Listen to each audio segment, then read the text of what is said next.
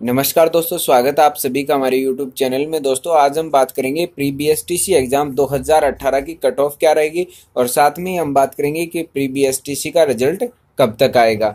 तो उससे पहले अगर आपने अभी तक हमारे यूट्यूब चैनल को सब्सक्राइब नहीं किया तो प्लीज़ सब्सक्राइब ज़रूर कर लीजिए। तो चलिए देखते हैं।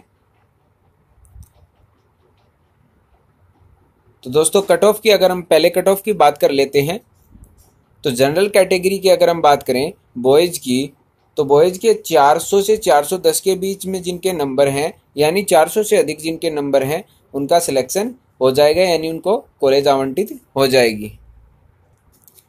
और जनरल गर्ल्स के अंदर जिनके नंबर 390 से 400 के बीच, यानी 390 से ज़्यादा जिनके नंबर हैं जनरल गर्ल्स में उनको कॉलेज आवंटित हो जाएगी।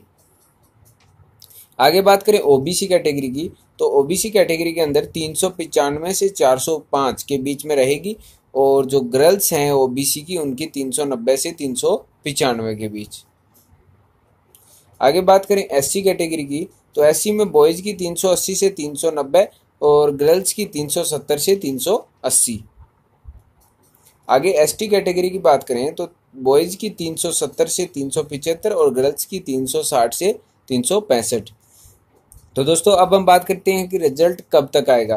तो जो B S T C pre exam का रिज़ल्ट है, वो जून के थर्ड सप्ताह के अंदर आएगा। तो जून के थर्ड सप्ताह के अंदर B S T C pre का जो रिज़ल्ट है, वो घोषित कर दिया जाएगा। तो धन्यवाद दोस्तों, वीडियो पसंद आए तो वीडियो को लाइक करें शेयर करें और कमेंट करें। चैनल को सब्सक्राइब करना ना भूलें। धन्यवाद, जय हिंद, वंदे मातरम।